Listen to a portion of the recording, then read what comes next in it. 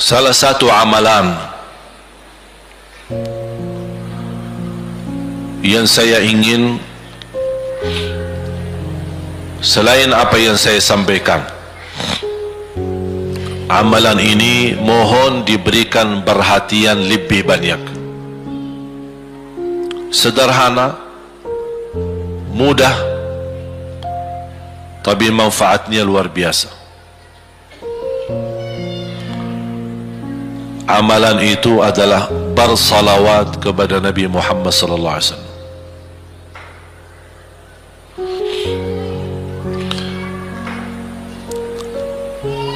Kali ini saya tidak minta anda bersalawat seperti biasa. Saya yakin bapa ibu suka bersalawat.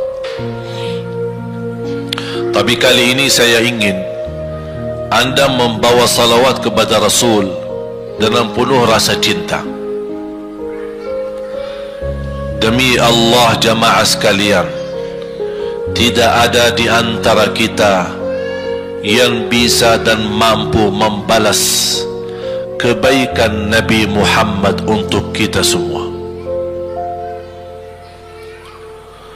Salawat kepada Nabi Muhammad satu kali salawat kita dapat sepuluh kali rahmat.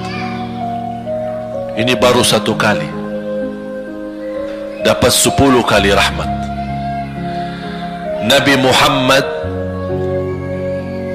menjadi nabi kebanggaan kita rahmatan lil alamin termulia akhlaknya yang paling mulia akhlaknya terhadap istrinya itulah Nabi Muhammad sallallahu alaihi wasallam setiap malam saya suka minta maaf sama istri saya. Saya sampaikan mohon maaf saya belum mampu menjadi semulia akhlak Nabi Muhammad sallallahu alaihi wasallam. Yang termulia akhlaknya terhadap istrinya Nabi Muhammad. Makanya kata Rasulullah di hadis yang sahih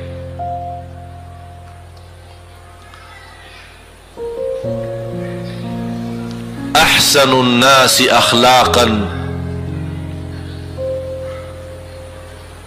Ahsanukum li ahli. Yang paling laki-laki yang termulia adalah laki-laki yang termulia akhlaknya terhadap istrinya dan Rasul juga bersabda dan akulah yang termulia terhadap istri-istriku Nabi Muhammad itu bukan hanya dengan salawat kita dapat 10 kali rahmat tapi kita dengan bersalawat kepada beliau dijamin kita dapat syafaat beliau di hari kiamat. Bahasa syafaat yang kita semua sudah tahu semua berkeinginan mendapatkan syafaat dan semua berdoa mengharapkan syafaat Nabi Muhammad sallallahu alaihi wasallam tapi bapa ibu belum tahu sejauh mana kemuliaan syafaat yang kita tunggu yang diberi nanti oleh Rasulullah SAW. Syafaat Nabi Muhammad sallallahu alaihi wasallam adalah langkah yang kita harapkan bukan hanya umat Islam bahkan seluruh umat Yahudi, Nasrani, Buddha, Hindu, seluruh manusia di hari kiamat mengharapkan syafaatnya yang disebut dalam hadis Asy-Syafa'atul Kubra, syafaat yang paling agung yang Allah izinkan Nabi Muhammad untuk diberi kepada seluruh manusia, yang Islam maupun yang tidak Islam. Karena di saat hari kiamat seluruh makhluk Allah subhanahu wa ta'ala seluruh manusia bahkan bangsa jin semuanya berdiri habis dibangkit oleh Allah subhanahu wa ta'ala semuanya berdiri di hadapan Allah menunggu hisab dimulai lebih dari lima puluh ribu tahun. Bisa enggak terbayang? Berdiri berapa lama 50 ribu tahun.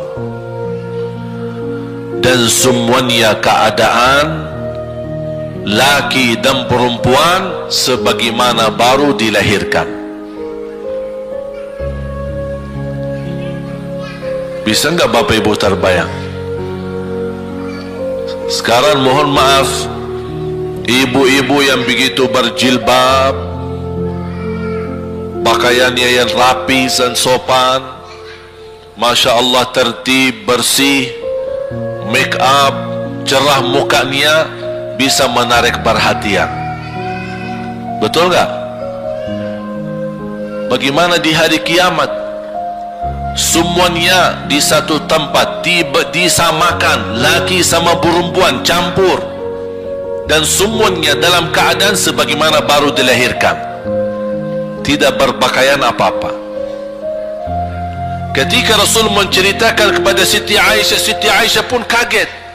Ya Rasulullah laki dan perempuan sama-sama. Kefikiran Siti Aisyah kemana malu dilihat oleh orang. Apa kata Rasulullah SAW wahai Aisyah di saat itu kesibukan manusia pandang kepada Allah subhanahu wa ta'ala menunggu hisab lebih daripada kefikiran yang lain. Bisa enggak terbayang? Saya yakin tidak bisa terbayang. Mohon maaf apapun kesibukannya biarpun dahsyat yang menarik perhatian tetap ada kesempatan masih cuci mata betul enggak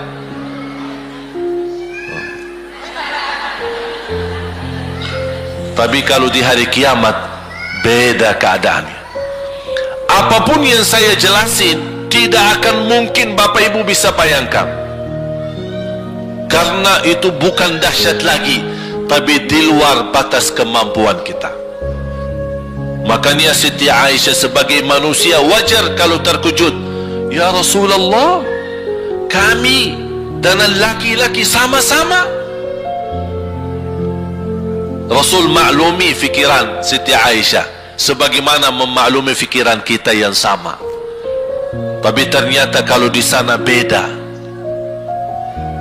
Makanya di saat itu belum lagi matahari didekatkan. Disebut dalam hadis mil satu mil di dalam satu hadis satu mil adalah kalau untuk dalam mata itu kan berapa ukurannya? Berapa senti ya? Sangat kecil. Betul? Kalau dalam bahasa Arab itu namanya mil. Berarti ukuran nanti di hari kiamat kita berdiri 50 ribu tahun dan matahari ini dekat seperti ini di riwayat mil bukan yang itu maksud tapi adalah ukuran perjalanan. Satu mil. Kira-kira satu mil cukup jauh? Sama. Kurang lebih berapa kilo? Satu setengah kilo? Ya kurang lebih satu setengah kilo. Sekarang jutaan kilometer kita merasa panas.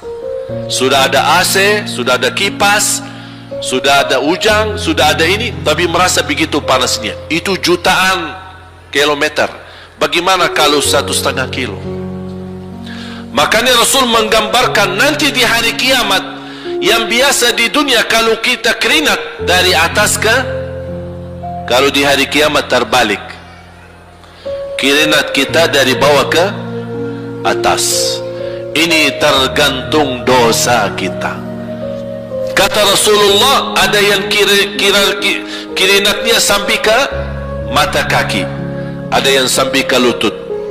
Ada yang sampai ke paha.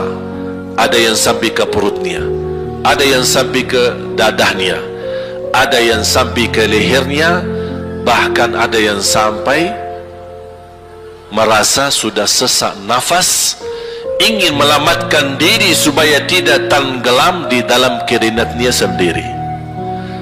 Dalam keadaan itu 50 ribu tahun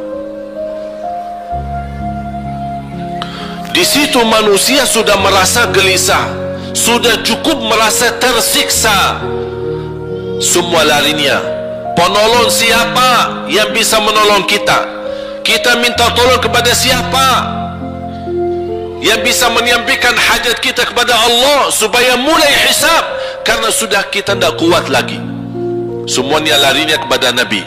Nabi Adam Nabi Ibrahim Nabi Nuh Nabi Musa Nabi Isa semuanya jawab yang sama. Nafsi nafsi. Allahumma sallim sallim. Ya Allah selamatkan diriku sendiri. Tak ada yang urus anak, isteri, suami, keluarga Apalagi manusia lain. Sama keluarganya saja dia lari. Tak ada, nafsi, nafsi. Diri sendiri, Ya Allah selamatkan Diri sendiri, Ya Allah selamatkan. Diri sendiri, Ya Allah selamatkan. Nabi Adam jawab begitu. Suruh barangkali Nabi Nuh bisa bantu kalian. Datang kepada Nabi Nuh nafsi nafsi Allahumma sallim sallim. Datang kepada Nabi Musa nafsi nafsi Allahumma sallim sallim. Datang ke Nabi, Isa nafsi nafsi Allahumma sallim sallim. Sampai terakhir Nabi Isa berkata ada satu saya rasa dan yakin dialah yang bisa memberi bantuan. Dia tunjukkan itu dia. Namanya Muhammad sallallahu alaihi wasallam. Bayangkan semua manusia.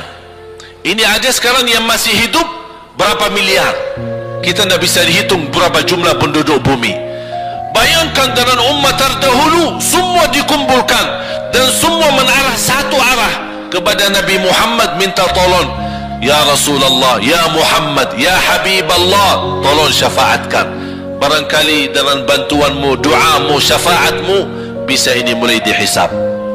Supaya terselesai siksa yang kita hadapi. Begitu mereka datang apa jawab Rasulullah SAW Allahumma sallim sallim. Ummati ummati. Ya Allah selamatkan umatku umatku fikirannya umatnya bukan istrinya bukan anaknya bukan orang tuanya bukan siap umatnya umatnya dia fikirkan. Kemudian dia sujud di hadapan Allah subhanahu wa ta'ala. Kata Rasulullah di saat itu aku bersujud Allah gerakkan lidahku untuk memuji Allah dengan kata-kata pujian yang tidak pernah makhluk pun sebelumnya sebutkan pujian itu.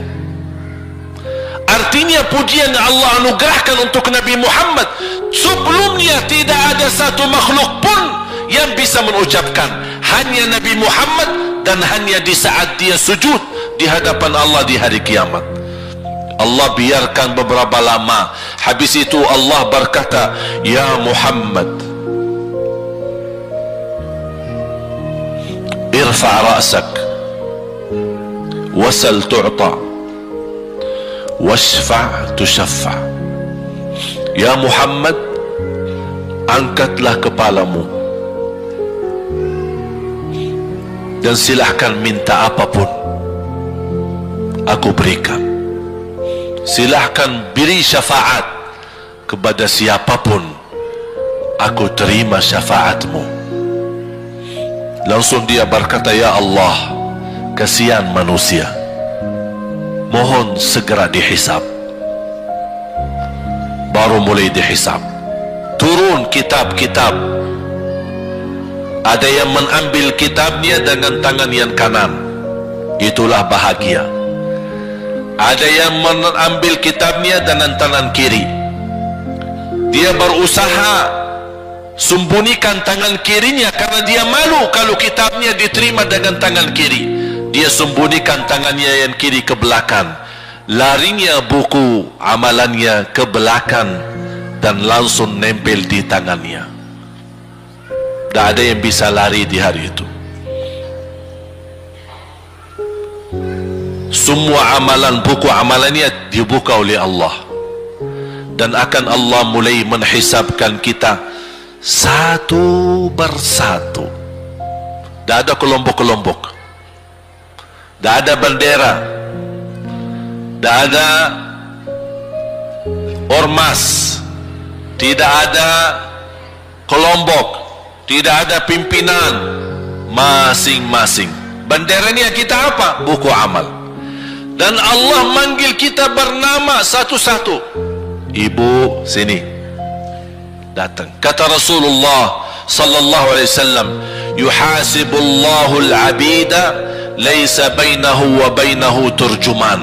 Allah akan hisab hamba-hambanya satu demi satu bersatu bersatu dan tidak ada penerjemah jadi tidak bagi terjemah translate ya Allah saya tidak mengerti bahasa Arab. Saya tidak mengerti bahasa ya Allah gimana ini saya butuh translate atau acara supaya bisa bantu saya lulus dari hukum. Tidak ada. Yang hakim Allah. Keputusannya Allah. Yang menentukan Allah. Mahkamah yang dikuasai Allah. Hamba di hadapan Allah. Saksi semua. Tangan saksi mata saksi lidah saksi kaki saksi buku amal saksi malaikat saksi. Bagaimana kita mulari ditanya oleh Allah. Hei hambaku ingat enggak di malam itu di tempat itu kamu berlakukan dosa itu? Seorang hamba yang masih memiliki iman dia merasa dan ingat dan dia merasa malu dia tunduk kepalanya kata Allah malu ya. Malu. Tunduk ya malu ya Allah malu. Malu. Dan subhanallah tanda rahmat Allah ketika Allah bertanya dengan kita tidak ada orang lain yang bisa lihat. Supaya apa? Supaya hisab kita di antara kita sama Allah tidak terbocor kepada orang lain supaya tidak malu sama orang lain. Allahu Akbar. Habis kita sudah raku diri ya Allah saya ingat. Dan saya rasa salah. Dan saya malu. Apa kata Allah? Waktu itu kamu lakukan dosa itu aku tutupi. Aku tutupi. Tak ada yang tahu kita lakukan dosa ini sudah sekian tahun. Ada yang tahu enggak? ada yang tahu. Karena kita lakukan di saat sumbuni. Kata Allah di saat itu kamu lakukan dan kamu tahu itu dosa tapi aku tutupi. Supaya kamu jangan menjadi malu di depan keluarga atau di depan sahabat. Aku tutupi.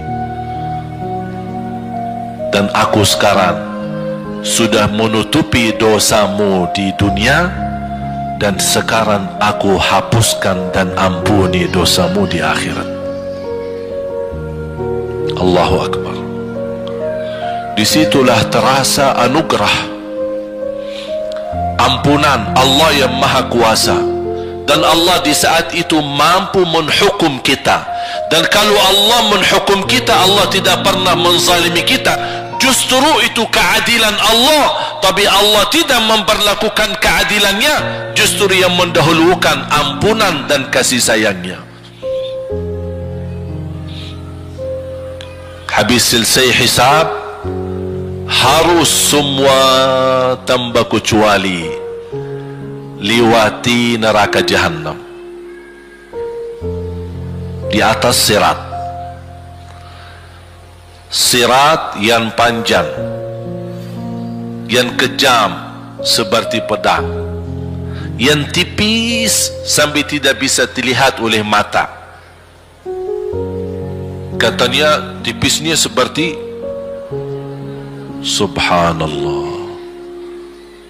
Imam bisa jalan di atas rambutnya Kejam lagi Masuk di atas serat Terus jalan.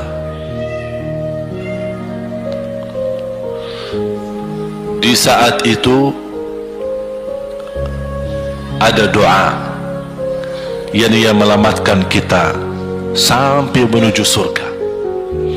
Nabi Muhammad sallallahu alaihi wasallam. Dia sudah duluan. Kalau Sayyidina Abu Bakar perjalanan di atas sirat disebutkan 100 tahun. Tapi Sayyidina Abu Bakar satu langkah di atas sirat langkah kedua di depan pintu surga. Dahsyat. Ini Sayyidina Abu Bakar seperti itu. Bagaimana Rasul? Rasul sudah menunggu di depan. Mulai manusia satu bersatu jalan di atas sirat dan Rasul di saat itu sibuk berdoa. Allahumma sallim sallim. Ya Allah selamatkan umatku ummati ummati. Ummati ummati. Sampai mereka terselesai.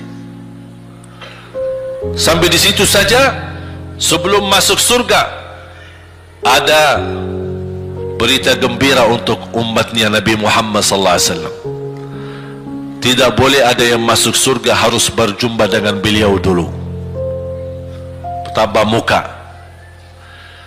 Dan disediain minum yang disebut air Al-Kautsar. Dan di situ banyak gelas. Tinggal kita ambil gelas dan minum. Begitu kita mau ambil gelas dan minum datang Rasul, jangan kamu minum langsung dari tanganku sendiri barang siapa yang minum dari tanganku tidak akan haus selama-lamanya. Allahu Akbar. Di situ terasa kemuliaan. Begitu kebahagiaan kita bertemu dengan Nabi Muhammad dan bisa langsung minum dari tangan Nabi Muhammad sallallahu alaihi wasallam. Bukan hanya begitu saja bahkan Nabi Muhammad memegang tangan kita mengajak kita masuk delapan pintu surga. Ada delapan pintu. Rasul bersabda satu pintu luasnya seperti antara langit dan bumi. Satu pintu. Antara langit dan bumi luasnya. Dan kata Rasulullah di saat itu akan manusia gesa-gesaan untuk masuk surga. Itu tanda apa? Banyak yang akan masuk mudah-mudahan kita terhitung dari yang banyak. Begitu ahli surga masuk kira-kira Rasul berhenti. Ahli surga sudah masuk sudah aman. Tidak. Rasul balik lagi. Keluar dan menuju dari langkah sirat yang pertama. Melihat ada enggak ternyata ada di antara umat dia yang tersisa yang dosanya terlalu banyak. Gesak-gesaan di jalan. Merangkak di jalan. Sambil jatuh di dalam neraka. Rasul ber mana mereka? Masuk ke neraka. Kata Allah subhanahu wa ta'ala melihat keadaan Nabi Muhammad SAW apa yang dibutuhkan lagi? Kata Rasul Ya Allah saya tidak akan puas. Masuk surga. Sampai hamba-hambamu yang ada di neraka umatku diselamatkan. Allah subhanahu wa ta'ala mengizinkan Nabi Muhammad keluarkan dari neraka. Dia keluarkan. Sudah cukup ya Nabi Muhammad? Tidak cukup ya Allah masih ada lagi. Diambil lagi dikeluarkan diambil lagi dikeluarkan. Artinya dari umat Nabi Muhammad yang masih banyak dosanya yang masih banyak kelewatannya sama Rasulullah yang tidak fantas memberi kemuliaan kepada Rasulullah SAW dapat pula syafaatnya Nabi Muhammad. Yang tidak pernah memberi tanda sayang dan cinta kepada Rasul dapat rasa sayang dan cinta Nabi Muhammad sallallahu alaihi wasallam Sambil kata malaikat Jibril Demi Allah saya melihat Nabi Muhammad mengambil manusia dari neraka jahannam Diselamatkan dari siksa dan membawa mereka ke surga Kata malaikat Jibril. Sambil aku kira Tidak ada lagi yang tersisa di neraka jahannam Saking banyaknya yang dikeluarkan oleh Rasul. Itu syafaat Rasul Sallallahu Alaihi Wasallam.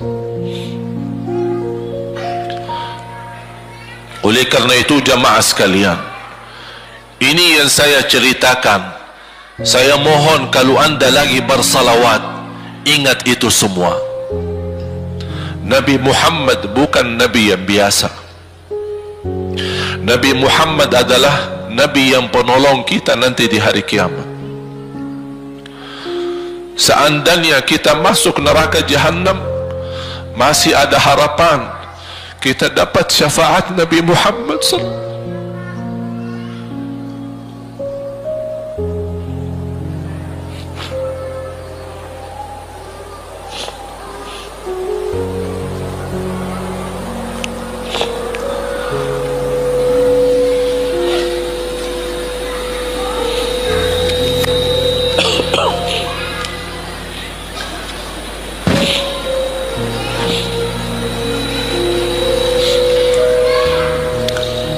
yang masuk neraka saja dapat syafaat Rasul. Jadi sejauh mana kita bisa mencintai beliau? Sejauh mana kita minat mempelajari kehidupan beliau? Sejauh mana kita mengenal sunnah-sunnah beliau? Di zaman ini umat yang paling bodoh terhadap beliau kita umat Islam kita umat Islam banyak hal yang tidak tahu tentang beliau. Tidak tahu bagaimana perjuangan beliau. Bagaimana doa-doa beliau untuk kita.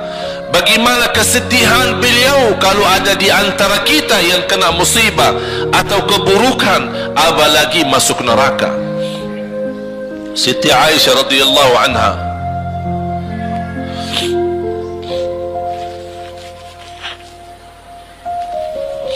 Siti Aisyah radhiyallahu anha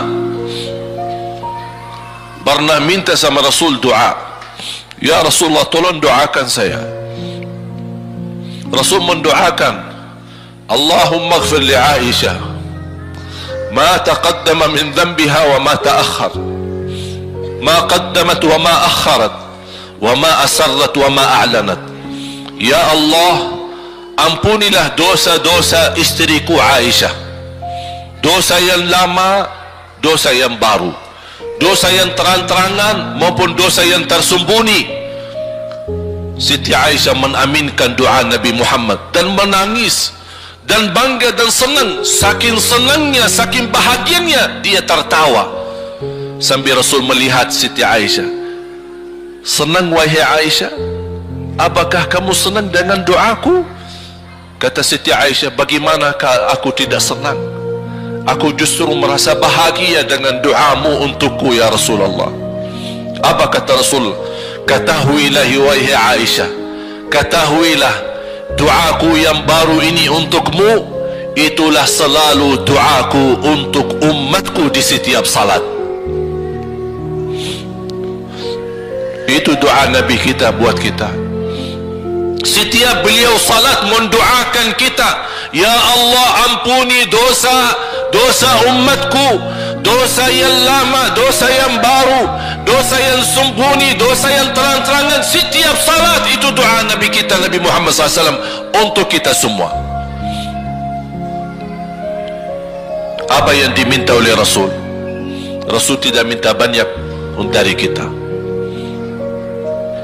Salah satu yang diminta oleh Rasul dan memohon satu itu berbanyak itu satu-satunya yang Rasul minta banyak. Selain itu Rasul tidak pernah minta banyak. Satu-satunya Rasul minta banyak. Apa? Salawatlah kepadaku. Berbanyaklah salawat kepadaku. Mengapa Rasul minta berbanyaklah salawat kepadaku? Kenapa tidak minta amalan yang lain untuk dibanyakan salawat atau amalan yang lain? Mengapa hanya salawat? Rasul berpesan berbanyaklah salawat kepadaku. Karena Rasul tahu dengan kita berbanyak salawat kita akan dijamin dapat syafaat beliau. Dan itulah beliau yang diinginkan. Bukan hanya dapat syafaat bahkan Rasul sendiri bersabda aqrabukum minni majlisan yaumal qiyamah. Yang paling dekat kepadaku hari kiamat yang paling banyak salawat kepadaku bahkan berita gembira bagi seorang hamba umat Nabi Muhammad SAW أكثروا علي من الصلاة يوم الجمعة وليلتها فإن صلاتكم تبلغني حيث كنتم إني كاستميوان خصوص كلبهان عملا ين أتاما بحكا ينتر أتاما دي هاري جمعة دن دي ملام جمعة فوكس هنيا بر صلوات كبدل رسول منابا karena Rasul yang berbesan Rasul yang minta.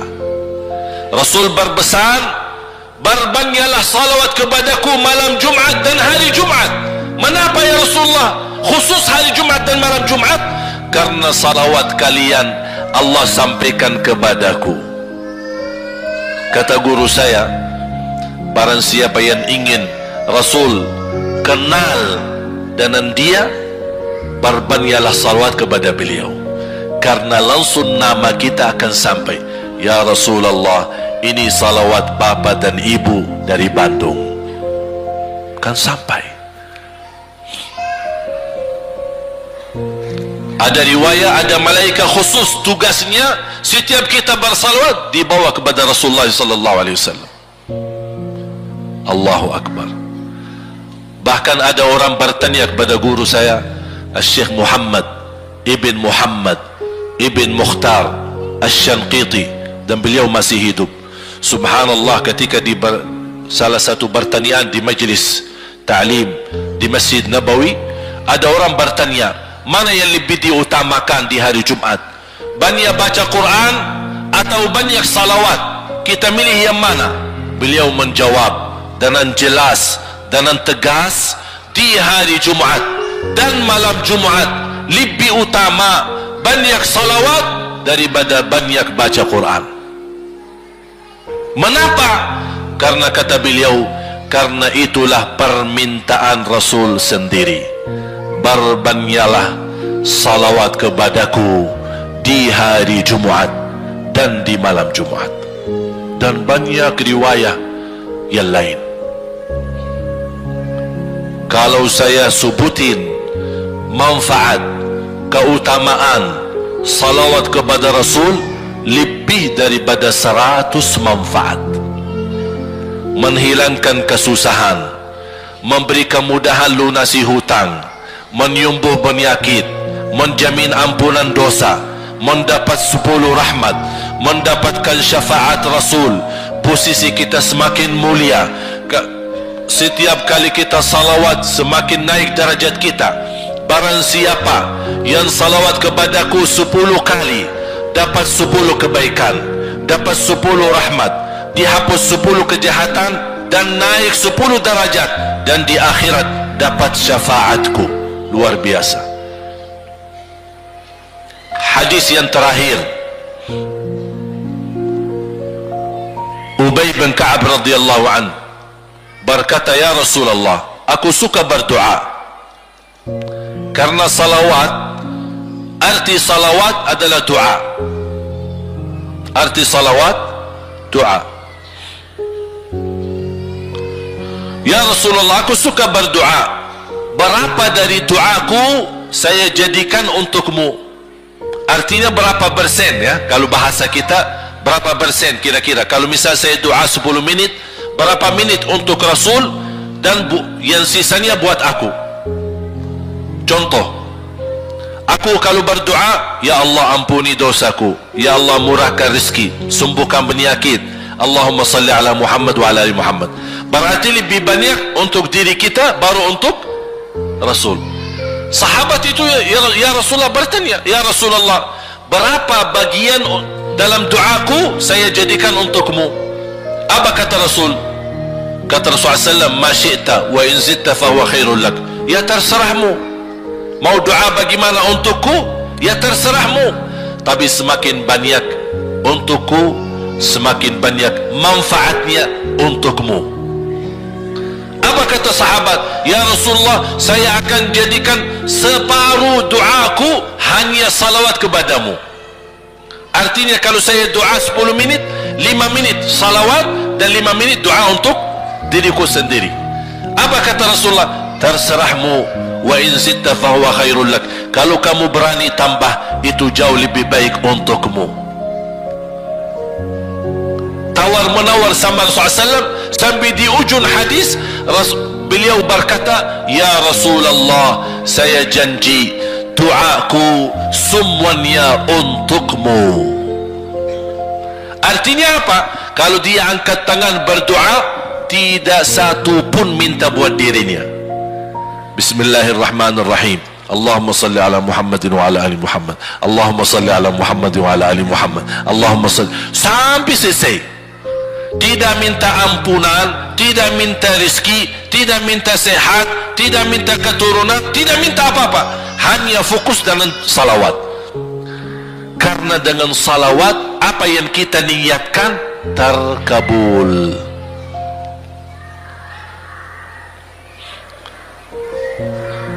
Saya dapat dari guru saya. Nanti saya akan ceritakan bagaimana cara berdoa. Kata sahabat ya Rasulullah saya akan jadikan doaku hanya salawat kepadamu.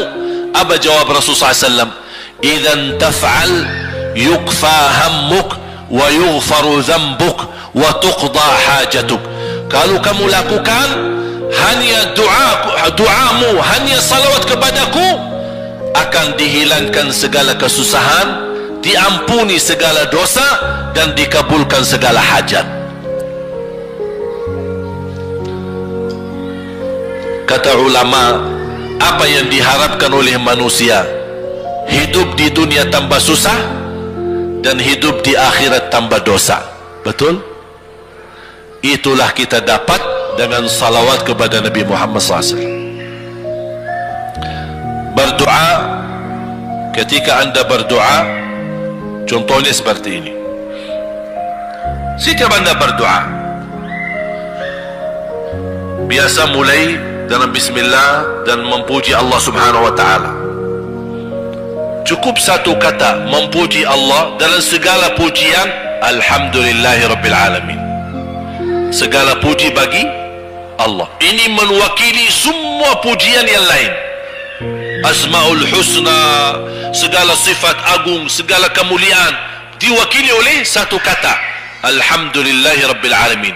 Kata sederhana kata tidak terlalu panjang tapi maknanya sangat luas. Oleh karena itu boleh diulangi berkali-kali. Alhamdulillahi Rabbil Alamin. Alhamdulillah. Sambil benar-benar merasa di hati karena ini ucapan mewakili segala pujian yang kita ingin sampaikan kepada Allah. Karena ada pujian yang kita ingat ada pujian kata-kata yang kita tidak hafal dan alhamdulillahi rabbil alamin mewakili segala pujian kepada Allah subhanahu wa ta'ala. Kemudian bersalawat. Allahumma salli ala Muhammad wa ala ali Muhammad kama sallaita ala Ibrahim wa ala ali Ibrahim innaka hamidun majid. Silahkan doa. Ya Allah ampunilah dosaku اللهم صل على محمد وعلى آل محمد يا الله sembuhkan penyakitku. اللهم صل على محمد وعلى آل محمد يا الله بريكان kepada aku anak yang صالح صالحة اللهم صل على محمد وعلى آل محمد جدي jadi setiap langkah doa diawali دي آخري صلوات فهم سبحان الله والله دهشت saya tidak bisa cerita apa lagi. Mau cerita apa lagi? Wallahi dahsyat. Saya tidak pernah istiqamah menamalkan doa seperti ini. Alhamdulillah selalu terkabul. Bahkan niata, niata Allah kasih. Udah, selesai. Wallahi jamaah sekalian, salawat kepada Nabi Muhammad bukan budaya, bukan kebiasaan, tapi amalan yang sangat manfaat buat keselamatan kita kebahagiaan kita di dunia maupun di akhirat. Bahkan keselamatan buat anak kita salawat kepada Nabi Muhammad SAW terakhir sekali lagi ketika anda bersalawat apa yang saya cerita tadi tolong dihadirkan dalam fikiran. Siapa Nabi Muhammad itu? Nabi Muhammad penolong kita di hari kiamat. Nabi Muhammad yang membawa syafaat untuk kita Nabi Muhammad yang menunggu kita di surga. Nabi Muhammad yang membela kita di di saat kita berdiri di hadapan Allah. Nabi Muhammad yang akan membantu mendoakan kita saat jalan di atas sirat. Nabi Muhammad yang mendampingi kita nanti ketika kita minum dari air Al-Kawthar Nabi Muhammad yang menemani kita masuk ke dalam surga. Nabi Muhammad yang tidak pernah lupa sama kita. Makanya ketika anda bersalawat dan membawa perasaan dan membawa penhayatan ini insya Allah jemaah sekalian akan terasa Ya Allah ternyata indahnya salawat kepada Rasul. Karena sudah kontak di hati. Apalagi kalau anda begitu salawat dan salam Rasul jawab. Rasul jawab kita. Waalaikumsalam ibu tapi cuma kita tidak dengar. Dia dengar salawat kita. Dia dengar salam kita. Tapi kita tidak mendengar jawab beliau. Allahu Akbar. Wallahi kalau bisa kita rasakan Wallahi ibu bapak akan sendiri menangis tanpa merasa. Sendiri kok kok kok tiba-tiba nangis? Kok tiba-tiba kok tidak bisa tahan diri? Karena Nabi Muhammad itulah yang semestinya sudah menguasai hati kita. Sudah ada di hati kita. Sudah mempenuhi rasa cinta di dalam hati kita. Makanya kata Rasulullah tidak sempurna iman seorang sampai dia mencintaiku lebih dari ibunya lebih dari bapaknya lebih dari anaknya lebih dari hartanya bahkan lebih dari dirinya sendiri. Baru sempurna imannya bagaimana kita bisa mencapai kesempurnaan iman seperti ini? Insyaallah dengan bersalawat dan membawa perasaan membawa kehadiran cerita-cerita yang sama-sama kita belajari baru akan terasa di dalam hati posisi Nabi Muhammad akan semakin besar semakin mulia di hati kita. Insyaallah semakin mulia di hati kita insyaallah akan semakin semangat beribadah semakin semangat mendekati semakin semangat mempelajari dan semakin insyaallah menjadi baik di mata Allah dan insyaallah baik di mata manusia. Amin ya rabbal alamin.